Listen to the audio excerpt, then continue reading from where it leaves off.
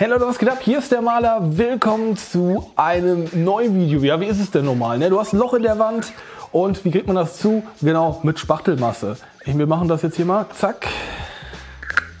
Bisschen beitupfen das Ganze. Aber ganz ehrlich, es ist zu einfach. Lass uns heute mal ein Experiment starten und zwar Caseinspachtel selber machen.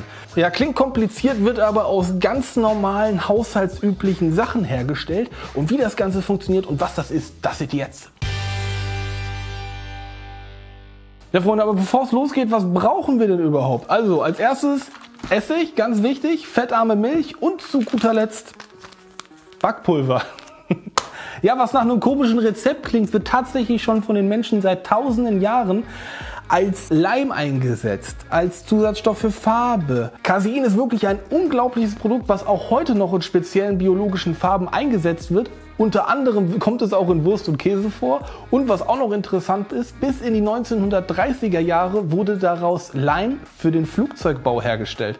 Sehr, sehr interessant. Wie gesagt, so ein paar Background-Informationen. Ich liebe sowas. Ne? Also wenn man, wenn man sowas hat, man denkt sich immer, hä, kann, kann sowas funktionieren? Keine Ahnung, deswegen machen wir das jetzt. So, dann lasst uns den ganzen Spaß mal anrühren. Also ich habe jetzt hier einen Behälter und da fülle ich mir jetzt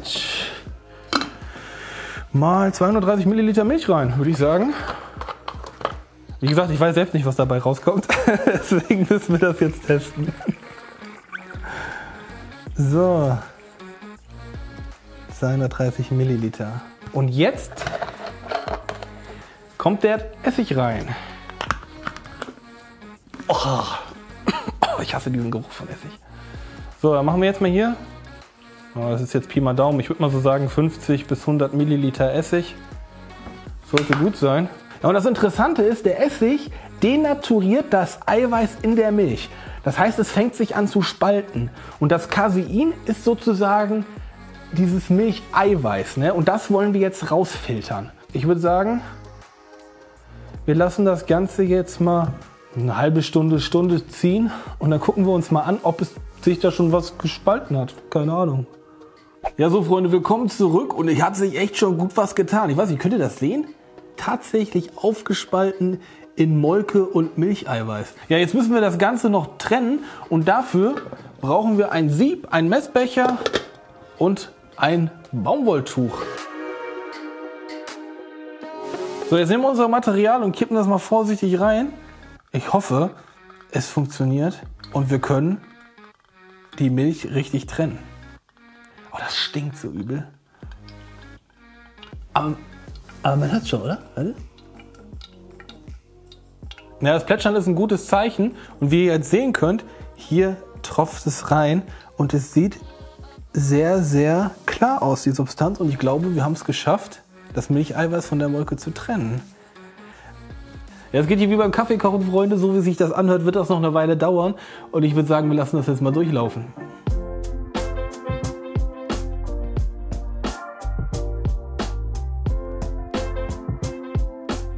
Ja, Freunde, so sieht das Ganze jetzt aus. Es erinnert ein bisschen an Joghurt oder Quark. Vom Prinzip her ist es auch nichts anderes, nur dass es ein bisschen strenger riecht. Würde ich sagen, dann füllen wir uns mal ein bisschen was vom Material ab.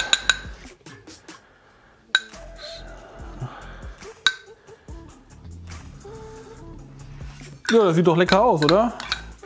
Jetzt bin ich auch mal gespannt, wie das hier aussieht. Das ist jetzt hier das übrig gebliebene. Könnt ihr sehen? Krass, das ist die Molke.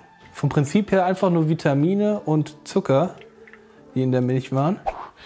So. Ja, Freunde, ich bin so gespannt, ob das funktioniert und wie das aussieht. Kommen wir zum finalen Ende. Ich fülle mir hier noch mal ein bisschen was vom Material um, weil alles brauchen wir nicht. Wäre jetzt Unsinn, zu viel Backpulver zu verschwenden. Backpulver ist bei dem Experiment hier immens wichtig, weil es neutralisiert die Säure ja, Casein allein hat noch keine Bindekraft. Erst durch das Backpulver entsteht die, denn da ist zum größten Bestandteil Natriumhydrocarbonat drin und das führt dann dazu, dass es später knochenhart werden soll.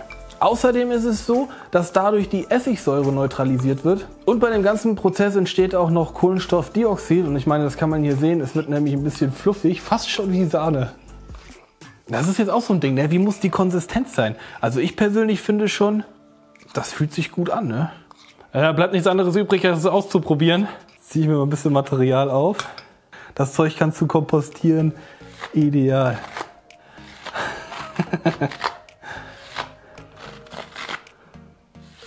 Soll nicht schön aussehen, es muss helfen. ja, dann würde ich sagen, dann lassen wir das Ganze jetzt mal trocknen und schauen uns mal an, ob das was gebracht hat.